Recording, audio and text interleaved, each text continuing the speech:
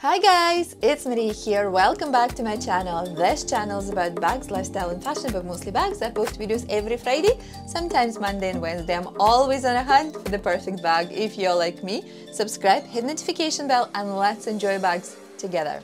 I've been seeing Prada Arque bag a lot recently and naturally became intrigued about it. I love learning about the bags and that's why I've got my hands on this little beauty, tested it for a few weeks and today I'm ready to deliver a full detailed review about Prada Arc bag in the cognac colour and the regular size. I'm going to show you some mod shows how the bag looks on me and also what fits test. At the moment bag comes in three different sizes, large, regular and the medium and being a baby bag lady I'm quite surprised that I'm reviewing a regular size. There is also a version with a front flap and the longer shoulder strap. At the moment bag comes in the three different colors as well and here we've got a beautiful tan cognac color. I love this color for its versatility and how it's basically perfect for any season. There are also a black and the white cream versions of the bag as well. I believe Prada called the bag arc due to the shape, this beautiful crescent shape of the bag, and some people believe that arc bag is a curvy sibling of Prada Cleo bag and Prada's attempt in quite luxury low-key bag. To be honest with you, me personally, I don't think that would hit as a low-key or the quite luxury category, but we will count it as a Prada attempt in quite luxury. And now let's have a look at the back itself. We will start with the golden hardware everywhere, starting from the Prada plaque over here on the front of the bag and then also on the zipper and the fixtures on the shoulder straps and the little buttons to adjust the shoulder strap as well. The gold hardware is really shiny, sparkly, and it's kind of like a pale, I would say champagne color of the gold. If we started talking about the fixtures, the adjustable fixtures for a shoulder strap, let's have a look into them. We have uh, three adjustable holes so you can adjust the shoulder strap to your liking. At the moment it's on the middle setting and I'm going to demonstrate that, how it's sitting on my shoulder over there. Really comfortable and I like how this shoulder strap is getting a little bit tiny wider onto the front, front, the middle part of the shoulder strap, which allows the bag to sit really comfortably on your shoulder and prevent bag from going down every single time. I hate that, guys, when you're on the go and wearing a shoulder bag and you need to do that. Pull it up, pull it up all the time. Oh my God, that's probably the, the one of the deal breakers for the bag for me personally if the shoulder, if I'm wearing the bag on my shoulder, that needs to sit there really tight.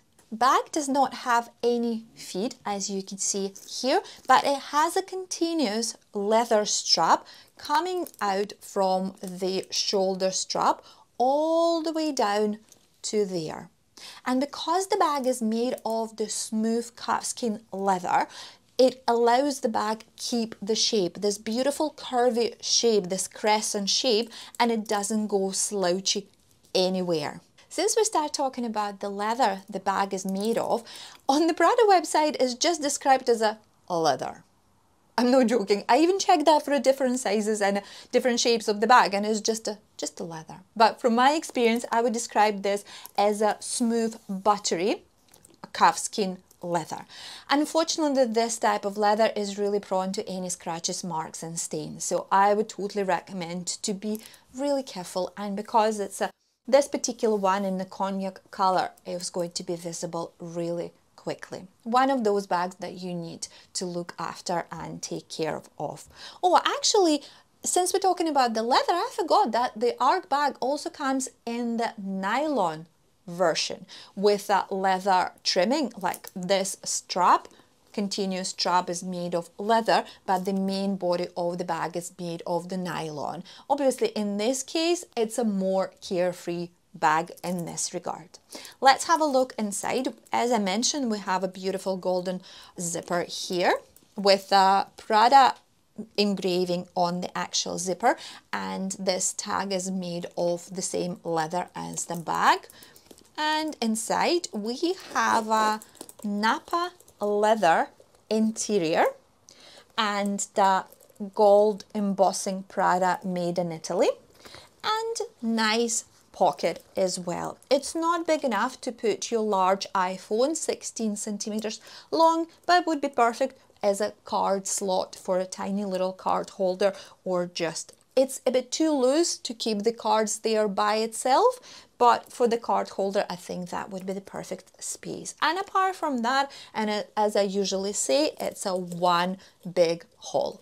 It's the Napa leather comes in the black color here and it's really smooth guys it's like when I touched it inside it's actually even smoother than the main part of the exterior of the bag Due to the very soft nature of the Napa leather, I've heard a lot of complaints about the actual stitching inside between the main part of the bag, the exterior of the bag and the interior.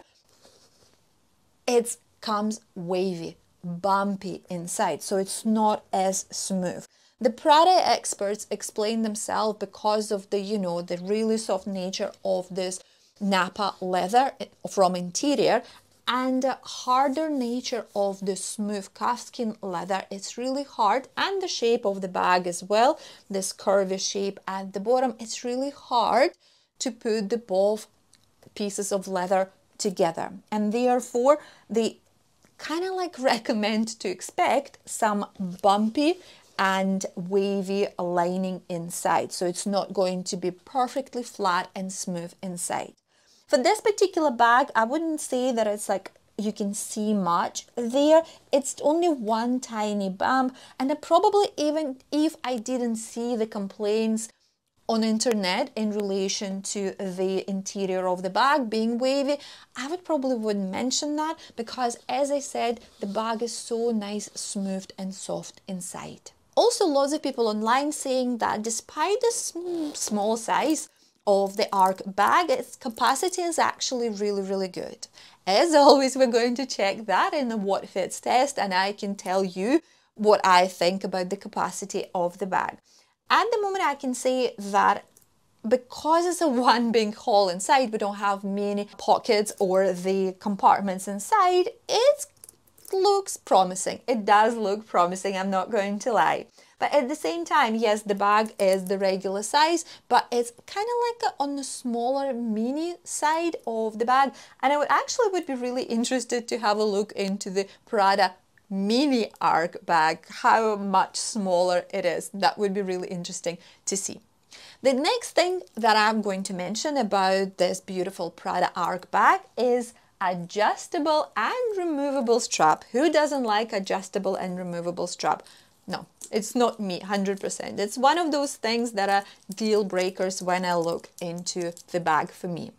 We have a, a beautiful high quality strap here and the matching hardware, gold hardware on the hoops and also on the buckle over here with the Prada engraving on the buckle. We have a five adjustable holes which allows you to adjust the bag and the length of the strap to your liking. I would say the five Five adjustable holes is quite generic and loads of bags are repeating that, but at the same time, it's quite generous and it gives you a lot of options how you like your bag and the length of the bag.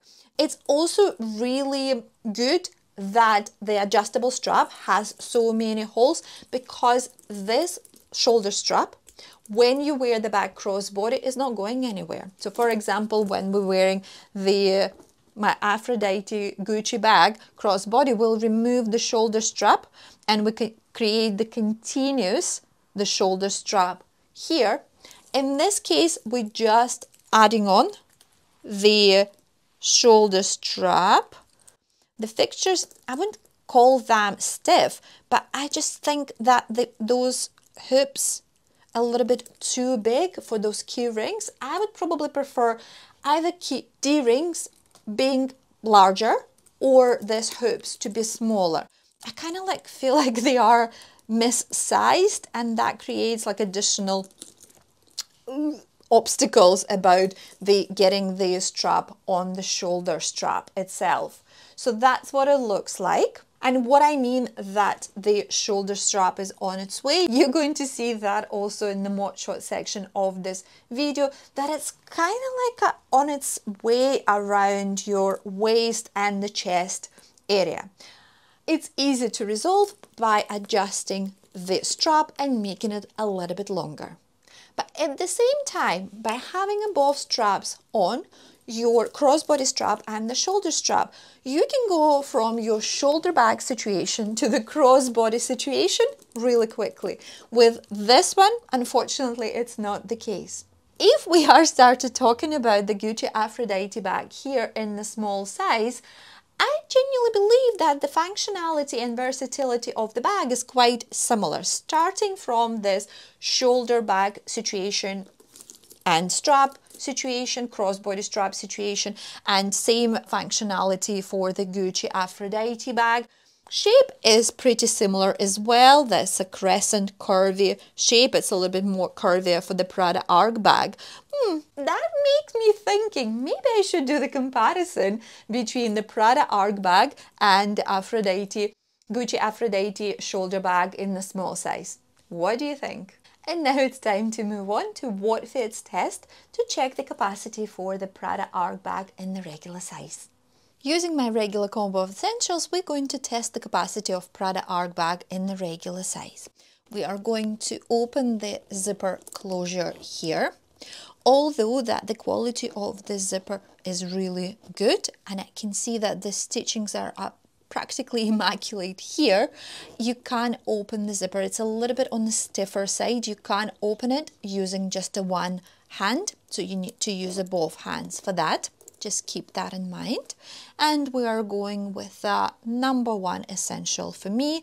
It's my iPhone Max Pro and it's a 16 centimeters long. Then we are going with uh, some chunky card holder. That one is from Chanel. Then we are going with a smaller card holder, just a regular one, this one from Saint Laurent. And I promised you to test the back pocket on the of the interior and it can easily goes in there as you can see. Then we're going for the notebook. Perfect. Just a little bit of organizing there. Then AirPods going on the side. Then lip balm going on the side as well. Then the chunky keys here. Opa. And the lipstick as well. And I think we have a little space even for the little perfume too. All goes inside and let's try to close that. Voila, that's it. You can see how much we stuff in there and the bag is not bulking out much and it's definitely not bulking down over here. As I mentioned, that leather strap, continuous leather strap, is just holding the shape perfectly. I would say it's a great capacity for the, such a small size of the bag and it's definitely much much better than the Prada Cleo capacity. In the mod shot section of this video, I'm going to show you how Prada Arc bag in the regular size looks on me. I'm 5'3", 163 centimeters tall and I usually wear size 10 UK. We will start with a crossbody situation. Removable and adjustable strap allows us to do that. We have a 360 rotation on the hoops, on the strap as well. I love this idea and I love this when it's a 360 rotation because it allows the bag when you wear that crossbody to sit more comfortably around your body as well. You can use the longer strap as a shoulder strap as well and wear the bag on the right or a left shoulder. You can fully remove the strap or leave it hanging like this and use the shoulder strap to wear that on the right or left shoulder in your hands or on the crook of your arm. At the end, I really want to say that I like Prada Arque bag. I love this crescent curvy shape. I love how it's been called a curvy sibling of the Prada bag. I love that it is sitting so comfortably on the shoulder when you wear that as a shoulder bag. I love the idea that it has a removable and adjustable strap which allows you to wear the bag cross body. I love the idea that the capacity is pretty generous, especially comparing to the Prada Cleo bag. The only thing that I would probably complain and it's a smooth calfskin leather which is really prone to any scratches and the stains and the marks. So in this case if you want to keep the bag in the pristine condition you need to be really careful what you're doing and you know avoid any sharp objects around the bag but you know, we have so many bags now on the market when we really need to be careful about the leather. So I would say it's a rather minor complaint about the Prada Arque bag. And that's me for today, guys. I hope you enjoyed this video. If you did, you know where to find thumbs up, subscribe button, notification bell, and I will see you next time. Bye!